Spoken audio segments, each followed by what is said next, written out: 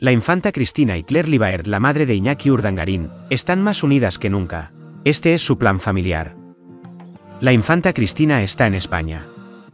Su ausencia en el hospital tras el ingreso repentino de la reina Sofía nos llevó a pensar que se encontraba en Ginebra, Suiza, pero nada más lejos de la realidad.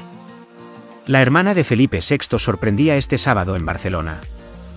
Visiblemente alegre y tranquila, doña Cristina apareció en el Palau Blaugrana, para disfrutar del partido de balonmano que enfrentó al Barcelona y el Granollers, donde milita su hijo Pablo. A pesar de la insistencia de la prensa allí presente, la hija de los reyes eméritos prefirió guardar silencio y hacer como si nada pasara, mientras se reencontraba con viejos amigos.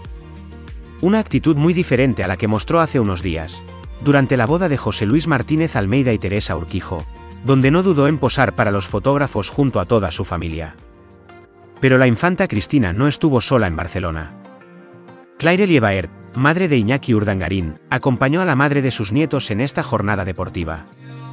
La relación entre ellas es magnífica, y es que Claire siempre ha dejado claro que a pesar del polémico divorcio, Cristina es una hija para ella y así será siempre. Cristina y Claire se mezclaron entre la multitud a su salida del partido, pero eso no impidió que fueran captadas por las cámaras. Cogidas de la mano y haciendo gala de la enorme complicidad que tienen, Sortearon a decenas de personas hasta que se encontraron con un grupo de amigos.